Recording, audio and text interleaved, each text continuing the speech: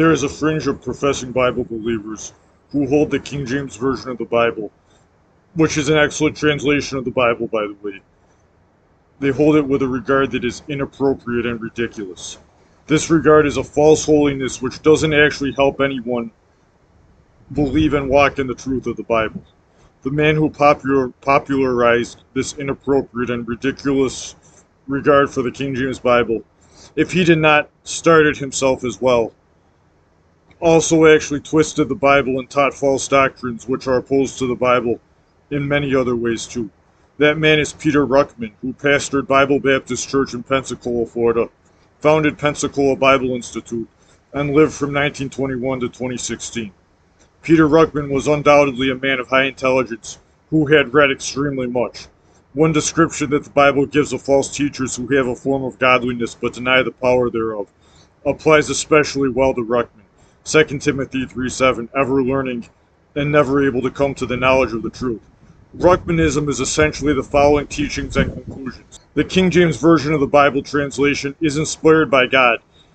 And that's not just a reference to the original and Hebrew Greek manuscripts that the King James Bible was translated from, but it's the belief that even the translation itself of the King James Version is inspired by God.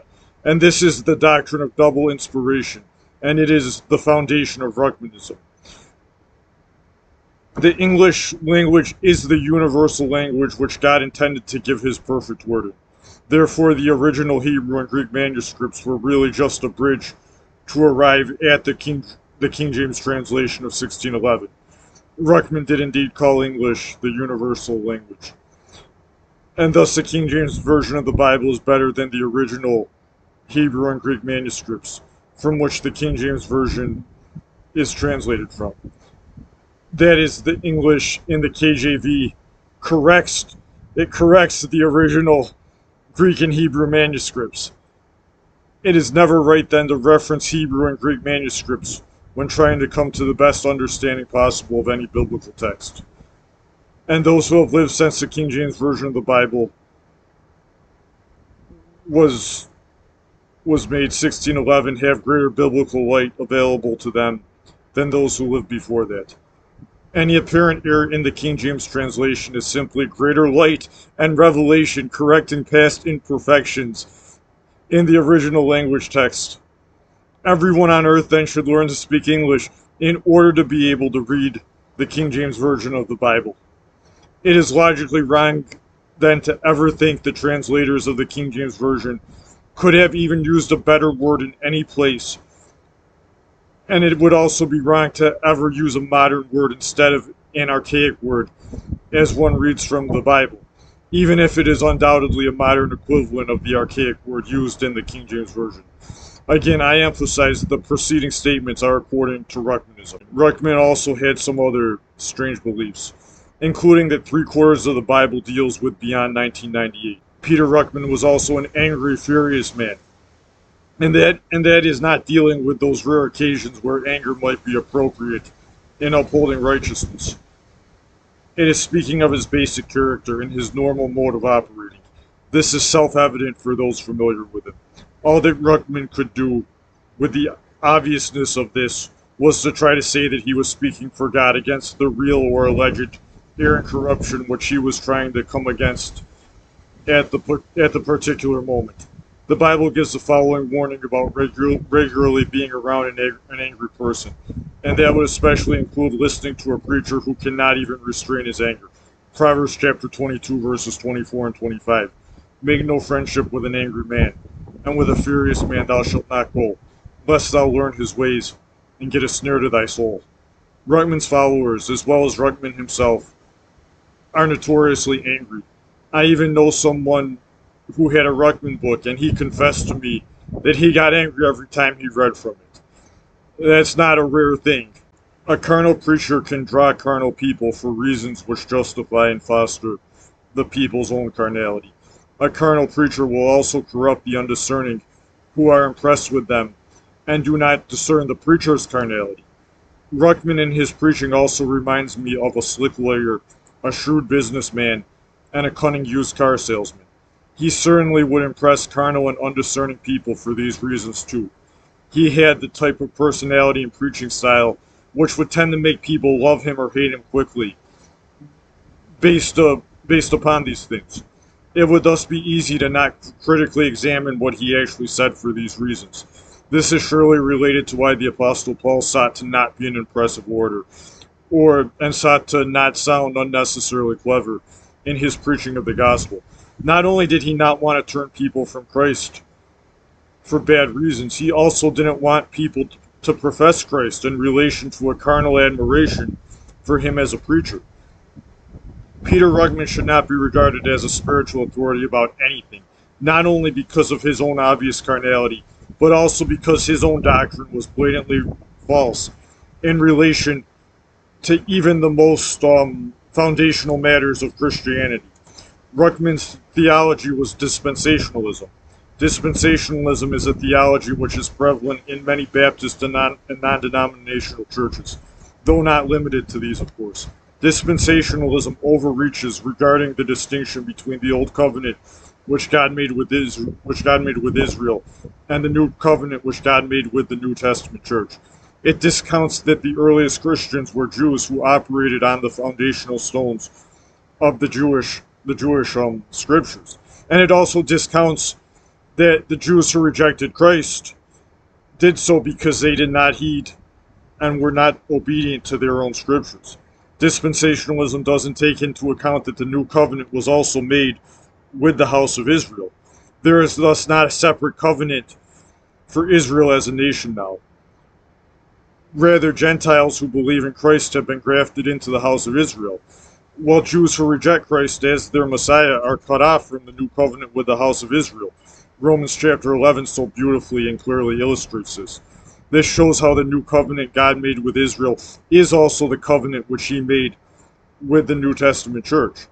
The greatest significance of this error is that is that Jesus and the apostles and the apostles referenced the moral principles of the law of God given in the law of Moses as Christian righteousness based upon the eternal moral law of God. Jesus and the apostles also illustrated salvation by grace through faith using Old Testament examples and people. A great evil of dispensationalism, then, is that it does not provide a faithful reference for righteous Christian living, since it removes the force of the moral principles of the law of God as a definite reference for this.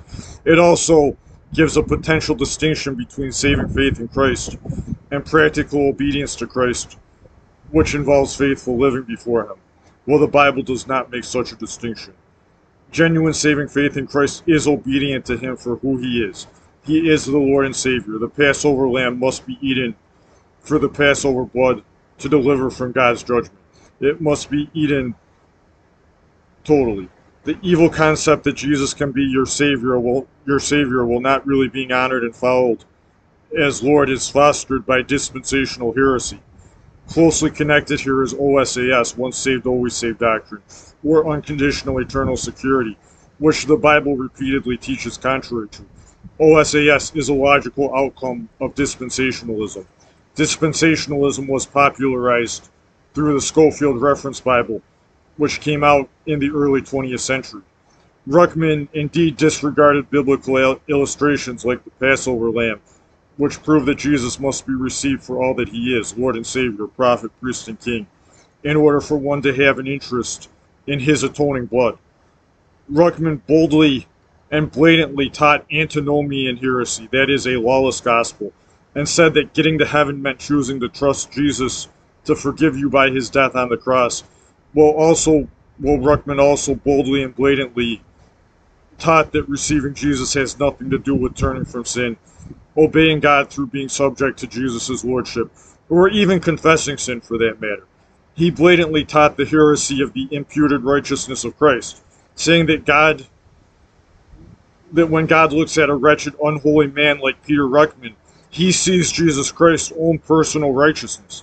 Yes, that's right. Ruckman taught the heresy that God sees Jesus Christ when he looks at one who has trusted in Christ, by Ruckman's own corrupt definition of trusting in Christ and he even blatantly taught that one can be a Christian while being an unholy, profane, disobedient, unrepentant sinner.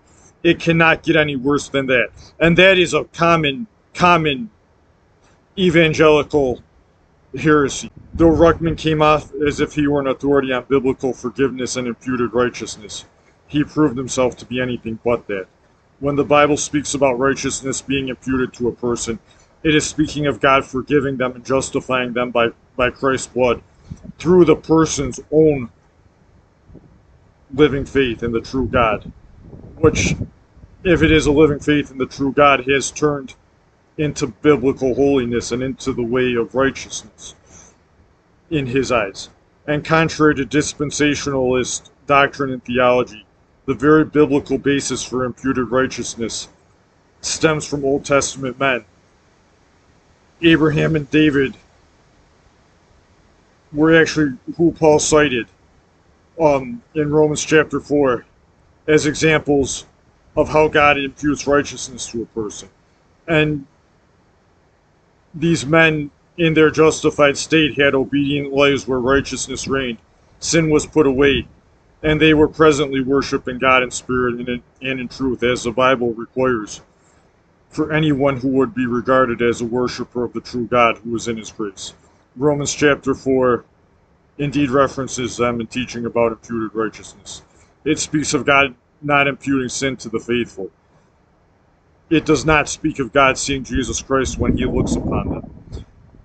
The, the concept that God imputes righteousness by cleansing a person by Christ's blood and looking upon Jesus Christ's righteousness when he looks upon them is the doctrine of double imputation. Ironically, Ruckman's great ears related in in terms of his his unreasonable his unreasonable regard for the King James version stem from his doctrine of double inspiration. So Ruckman's great errors are related to the false doctrines of double imputation and double inspiration. We could call these his double devilish doctrines. Romans chapter 4, in its context, is an elaboration of what is said in the closing verse of Romans chapter 3. Romans 3.31, do we then make void the law through faith? God forbid, yes, we establish the law.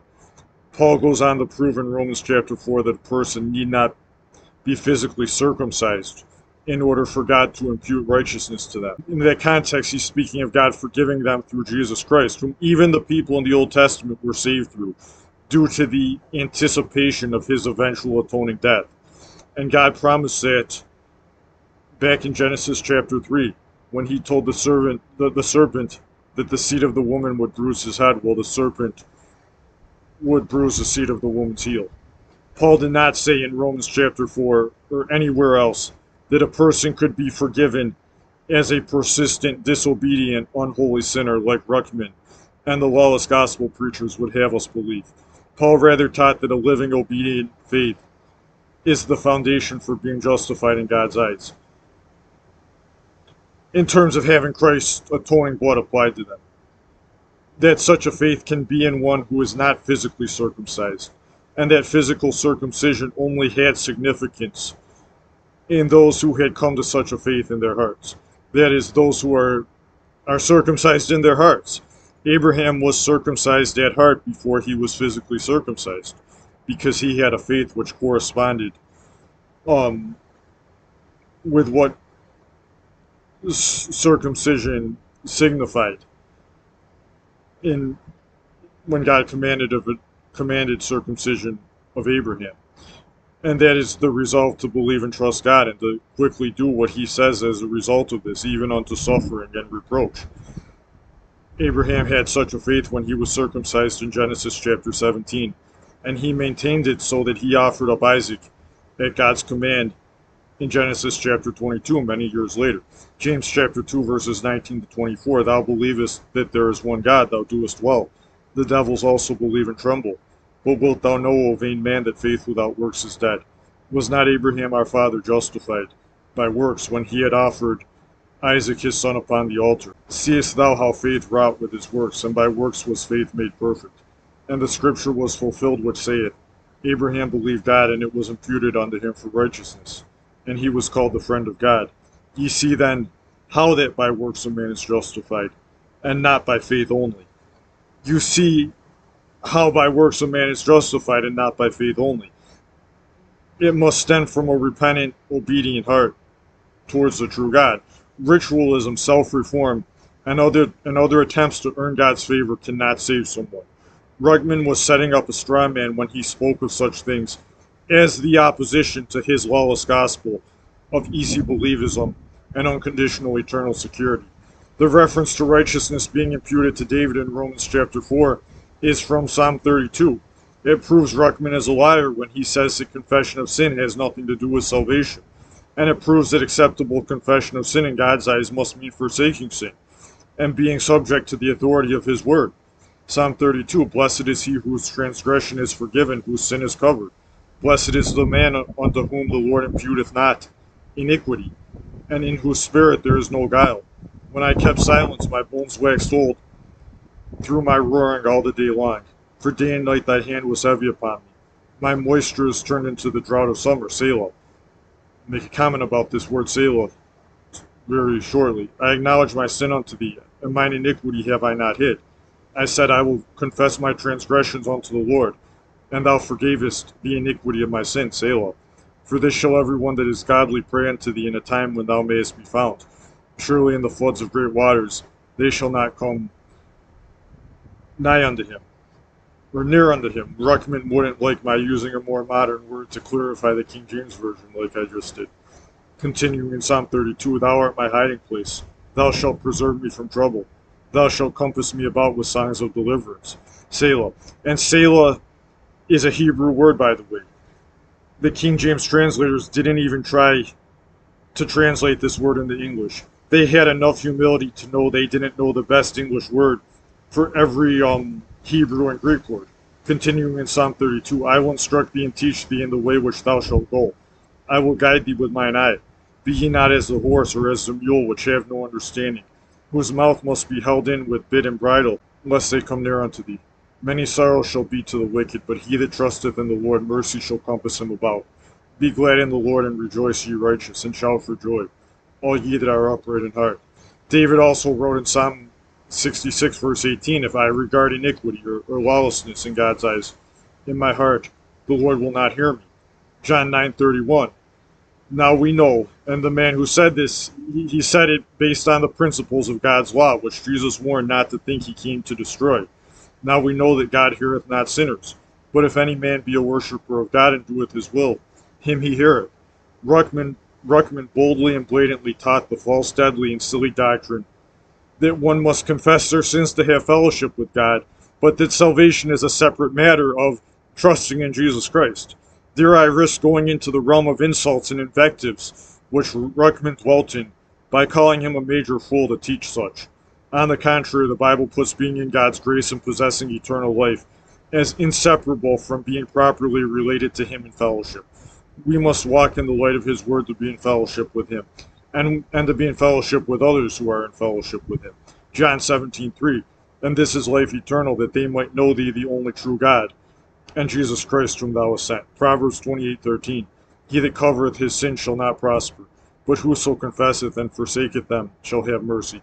See especially also 1 John 1 6 to 1 John 2 6, which we have read in many other studies. On the other hand, Ruckman was so blatant in his doctrines of easy believism and unconditional eternal security.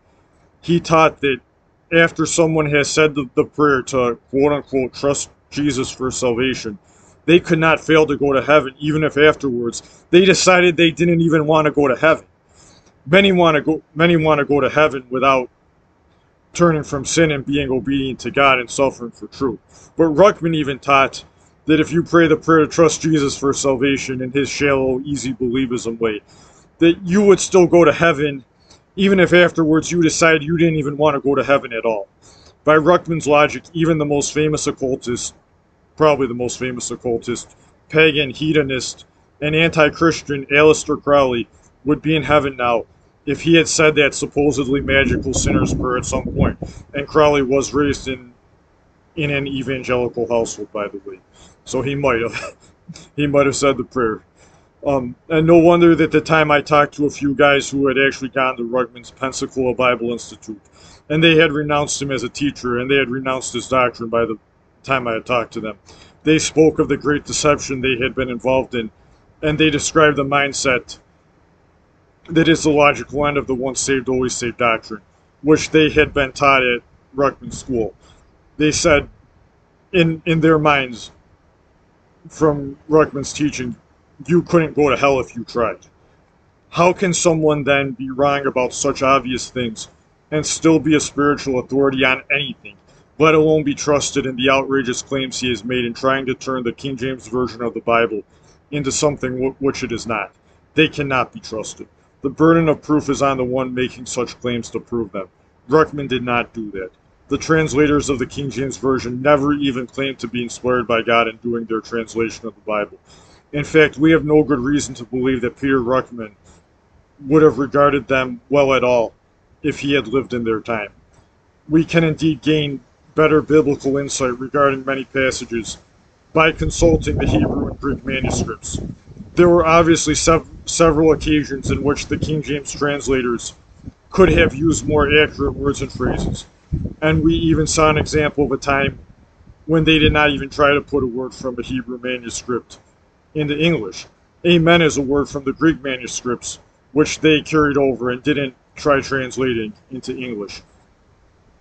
Those are just, that's just one example of that. There's definitely at least a, a few others. People can and do come to Christ, and people can and do faithfully serve Him, even though they do not know English and cannot read from the King James Bible.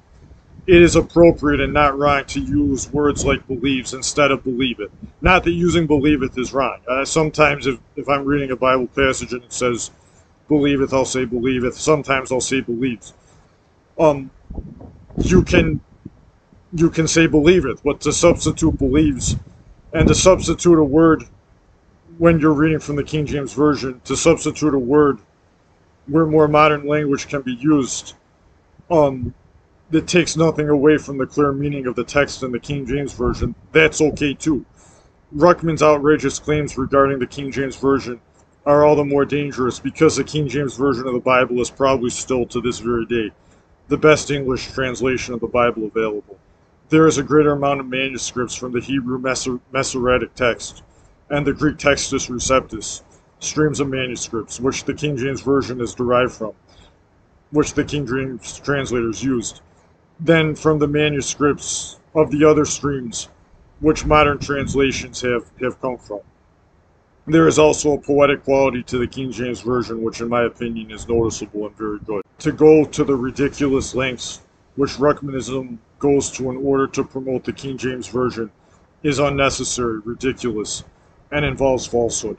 To say that the modern versions are inferior to the King James Version in every way at every passage is false and doesn't get to the real reasons why people should really beware of modern versions. To say that we shouldn't analyze the Greek and Hebrew manuscripts potentially robs us, robs us of valuable insight, especially related to the manuscript streams which the King James Version comes from, which have such proven reliability due to the amount of manuscripts which exist in them, regarding how they agree so well, and how and regarding how far back in history some are known to date from. And remember, Ruckmanites say we shouldn't even consult the Hebrew and Greek manuscripts, which the King James Version itself is derived from. To say that we cannot update the King James Version with modern language makes understanding the Bible harder than it needs to be for some at times. Though I also think many exaggerate that difficulty in many instances and or say it exists when it doesn't exist at all with certain passages.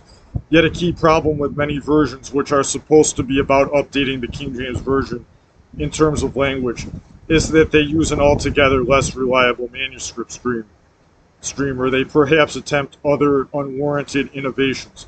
And let us know if you know of one which you believe does not. The corruption of many Bible versions are so potentially dangerous precisely because they water down key Bible doctrines, tear at true biblical holiness, and help people better think they are secure from God's wrath while they live in sin. And these are all things which the extreme KJV only people do, anyways, by the doctrine that they preach. They don't even need a corrupted version of the Bible to teach these wicked things. They they twist the King James version itself and ignore key things from the King James Version itself to accomplish the same thing as the corruption in modern Bible versions um, potentially accomplishes. Matthew 9:13 in the King James in the King James version says, "But go ye and learn what that meaneth. I will have mercy and not sacrifice, for I am not called for I am not come to call the righteous, but sinners to repentance." Matthew 9:13 in the Revised Standard Version, and other versions from less reliable manuscript streams make a key omission. Go and learn what this means. I desire mercy and not sacrifice, for I came not to call the righteous, but sinners. Note that true repentance is is omitted in the Revised Standard Version, as well, and, and it is in many other versions. But what if you twist the Bible's definition of repentance like Ruckman's followers? Or what if you in any way don't uphold biblical repentance in your church, your witness, and or in your own life?